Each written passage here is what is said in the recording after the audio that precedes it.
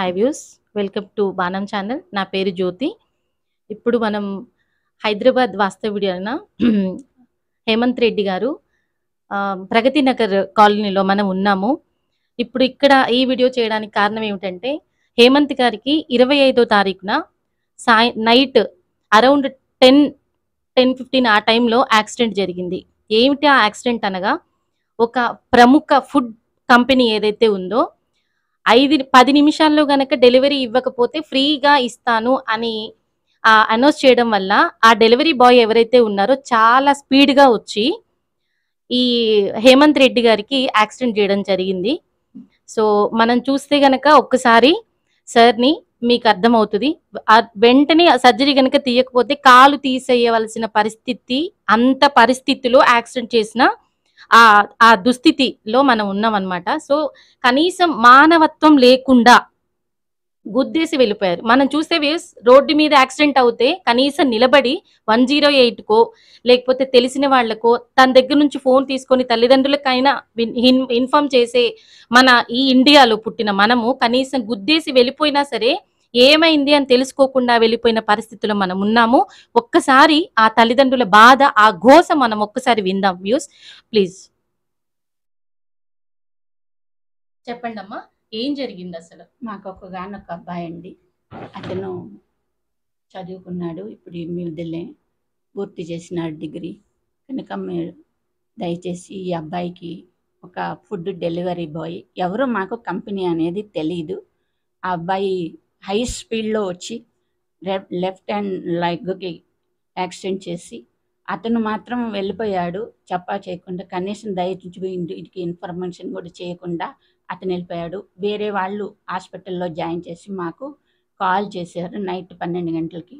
మేము అప్పుడు వెళ్ళాము. డాక్టర్ గారు చెప్పారు ఆపరేషన్ చేయాల్సిందేనన్నారు అన్నారు. అంటే సరే అని మేము అని చెప్పాము. మార్నింగ్ టైంలో ఇంకా వాళ్ళు త్రీ డేస్ పడుతుంది ఆపరేషన్ చేయటానికి అని అన్నారు. ఆ త్రీ డేస్ అంటే ఇంకా మరి కష్టం అనే దాంతో మేము మళ్ళీ వేరే హాస్పిటల్కి షిఫ్ట్ చేయాల్సి వచ్చింది. మాకు ఇప్పుడు ఎనిమిది లక్షలు అయింది ఖర్చు. మాకు ఎటువంటి ఒక్క రూపాయి కూడా లేదా ఆ టైంలో మా దగ్గర. మేము అప్పు తీసుకొని వచ్చి ఇమీడియట్గా అప్పు తీసుకొని వచ్చి మేము ఆ అబ్బాయికి ఆపరేషన్ చేయించాల్సి వచ్చింది. వ్యూస్ ఇప్పటి వరకు మనం మాట్లాడుకున్నటువంటి హేమంత్ రెడ్డి గారు సార్ అన్నమాట. ఆయన మాటల్లో అసలు ఏం జరిగింది అనేది ఒక్కసారి ఆయన నోటి వెంట మనం తెలుసుకుందాం. సార్ చెప్పండి సార్. మే ఇరవై ఐదో తారీఖు కొంచెం చిన్న పని ఉండి ల్యాప్టాప్ రిపేర్ ఉంటే చేయించుకొని ఇంటికి వస్తున్నానండి. ఇంటికి వస్తుండగా ప్లీజ్ సార్. జేఎన్టీయూ దగ్గర మన జేఎన్టీయూ దగ్గర ఈ యాక్సిడెంట్ జరిగింది. యాక్సిడెంట్ చేసిన అతను ఒక ఫుడ్ సంస్థకు చెందిన అతను ఫుడ్ డెలివరీ సంస్థకు చెందిన అతను. తను వెహికల్ చాలా రెక్లెస్గా డ్రైవింగ్ చేస్తున్నాడు. చాలా ఫాస్ట్గా వచ్చి కొట్టేశాడు. దాంతో నా లెఫ్ట్ నీ టోటల్గా డ్యామేజ్ అయింది. మొత్తం విరిగిపోయింది. మేజర్ ఆపరేషన్ జరిగింది. నాది నడవలేని పరిస్థితి ఇప్పుడు. సంవత్సరం దాకా నేను నడిచే పరిస్థితి లేదు. ఇంకొకటి ఏంటంటే నేను ఎన్నో రోజులుగా కష్టపడి గ్రూప్ వన్ సర్వీసెస్కి ప్రిపేర్ అయ్యానండి. మే ఇరవై ఐదో తారీఖు యాక్సిడెంట్ జరిగింది. మన జూన్ పదకొండో తారీఖు నాకు group one services preliminary exam ఉండింది. నేను ఈ యాక్సిడెంట్ మూలాన అది కూడా అటెండ్ అవ్వలేకపోయాను. ఎన్నో రోజులకు వచ్చిన ఛాన్స్ అండి. మళ్ళీ నాకు వస్తుందో లేదో కూడా తెలియదు ఏజ్ వచ్చేసి thirty four sir. Thirty six అండి. నా ఏజ్ థర్టీ సిక్స్ అండి.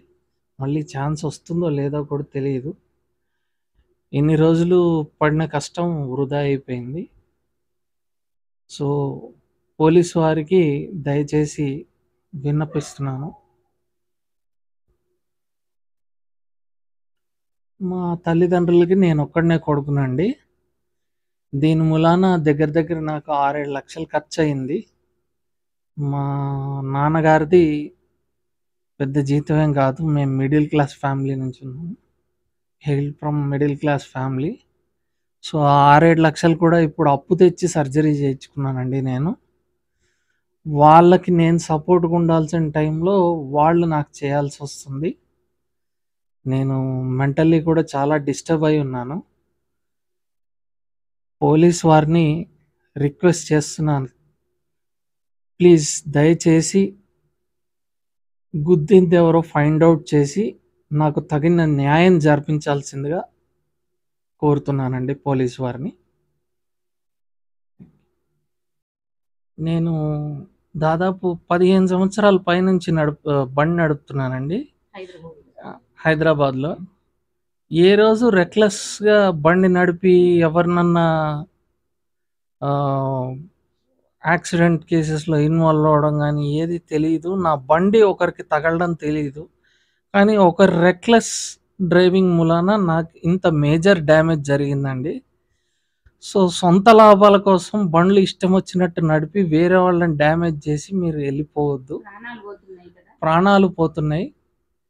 ఇలాంటి సో దయచేసి కంపెనీలు ఫుడ్ ఫుడ్ డెలివరీ కంపెనీస్ కూడా నేను చేసే విన్నపం ఏంటంటే మీ ఆఫర్స్ మూలాన ఇష్టం వచ్చినట్టు బళ్ళు నడుపుతున్నారు మీ డెలివరీ గైస్ కూడా.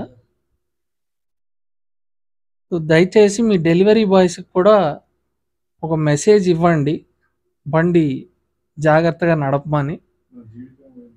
ఇప్పుడు మీ డెలివరీ బాయ్ మూలానే నాకు ఈ మేజర్ డ్యామేజ్ జరిగి నేను దాదాపు సంవత్సరం సంవత్సరంన్నర పాటు ఇంట్లోనే ఉండాల్సిన పరిస్థితి. నాకు పాకెట్ ఎక్స్పెన్సెస్ కూడా ఉంటాయి. నాకు పాకెట్ ఎక్స్పెన్సెస్ ఎవరిస్తారు? ఏంటి మా పరిస్థితి? నేను అందులో గ్రూప్ వన్ సర్వీసెస్కి ప్రిపేర్ ప్రిపేర్ అయినోడిని. నాకు మొన్న ఎగ్జామ్ కూడా మిస్ అయిపోయింది. మళ్ళీ నాకు ఛాన్స్ ఎప్పుడు వస్తుందో ఏమో తెలీదు. నాకు దయచేసి పోలీస్ కమిషనర్ గారిని రిక్వెస్ట్ చేస్తున్నాను. తగిన న్యాయం చేయవలసిందిగా కోరుతున్నాను. ఇప్పటి వరకు మీ బాబు మాట్లాడాడు మీ మిస్సెస్ మాట్లాడారు కానీ ఇంటికి పెద్దగా బాధ్యత ఎక్కువ వహించేది మీరే మీ భారం పడేది కూడా మీ మీదే. ఆల్రెడీ పడే ఉంటుంది. అసలు ఇప్పుడు మీ పరిస్థితి ఏంటి సార్? అంటే మీ మాటల్లో విందాం అనుకుంటున్నాము. ఏముందమ్మా ఈ మేము చిన్న చిన్న ఉద్యోగం నేను చేసేది. చాలా ఈ భారం నాకు ఎక్కువే పెద్దది. నేను ఎంత కష్టపడితే కానీ ఈ అప్పు తీర్చు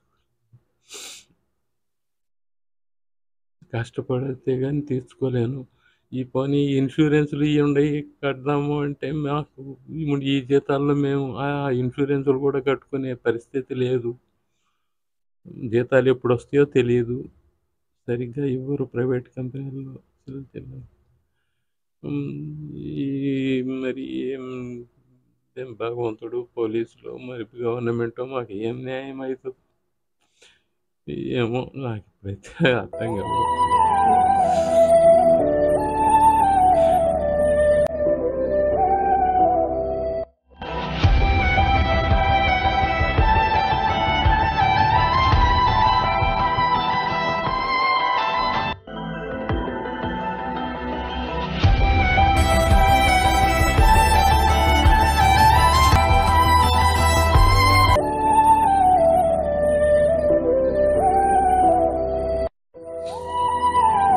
చూశారు కదా వ్యూస్?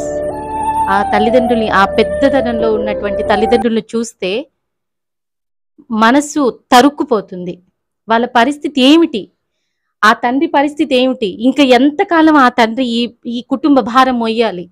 ఇంకా చేతికి వచ్చేసాడు నా కొడుకుకి ఉద్యోగం వస్తుంది తెల్లవార్లు నైట్ అవుట్ చేసి కూర్చుని ఆ ఆ జాబ్ కోసం ఆ ఎగ్జామ్ రాయడం కోసమని ఆ సార్ కష్టపడితే ఇంకా నా కొడుకుకి ఉద్యోగం వస్తుంది నేను రెస్ట్ తీసుకుందాము నేను రిటైర్డ్ అయిపోదామని ఈ ఏజ్లో ఆయన కష్టపడి ఇంకా ఇంకా నేను చేయాలా?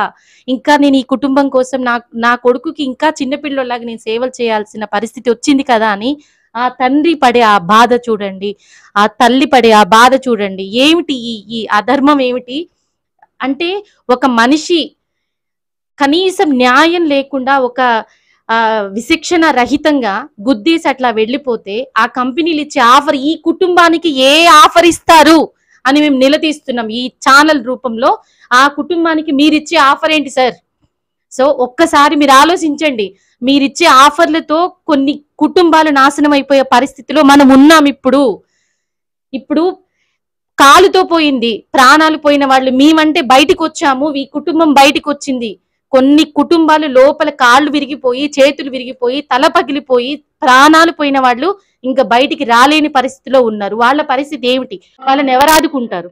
ఏ కంపెనీలు ఆదుకుంటాయి?